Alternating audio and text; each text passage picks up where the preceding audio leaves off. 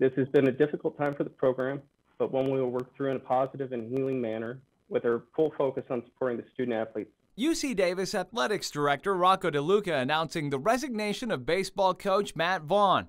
After this 34 page report outlined an initiation tradition involving a series of challenges described as beer boxing, mystery shot, lap dances, and more.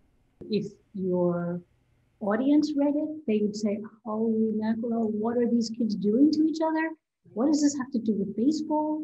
What are they trying to prove? Psychologist and hazing expert Dr. Susan Lipkins says initiation rituals like this are common around the country. It leads to difficulty sleeping, uh, difficulty focusing in school, low self esteem, depression, and even post traumatic stress. The report found that coaching staff did not have a role in coordinating initiation, but that by January 2018, Coach Vaughn knew or should have known about it.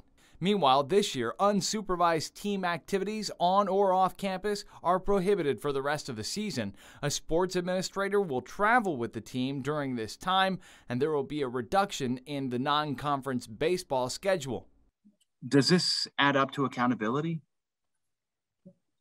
I don't think it's accountability, you know, and I think that some of the students could and should be held accountable as well as the coach. Uh, however, that rarely happens, and I don't know that that works. Dr. Lipkins says for an end to hazing, the change has to come from within. When the students say, no, you know, I don't want to do that anymore. I don't want to be part of it. I don't want to be sued. I don't want to have somebody die. I don't want to be in that kind of realm. That's when it, the culture itself will really change. And UC Davis has also announced new training and an anonymous reporting tool for student athletes to seek help or share their concerns.